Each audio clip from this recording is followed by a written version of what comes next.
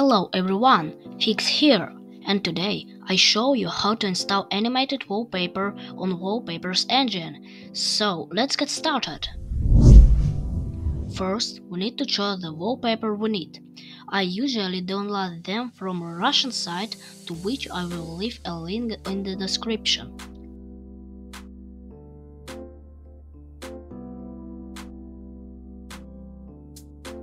After we have downloaded the wallpaper, open the archive with the wallpaper and drag all the contents into some folder.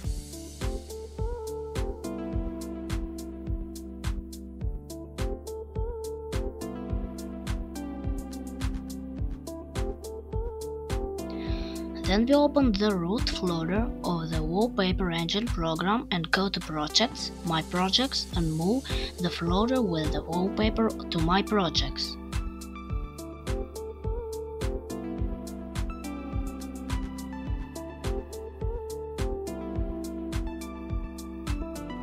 Then we open Wallpaper Engine.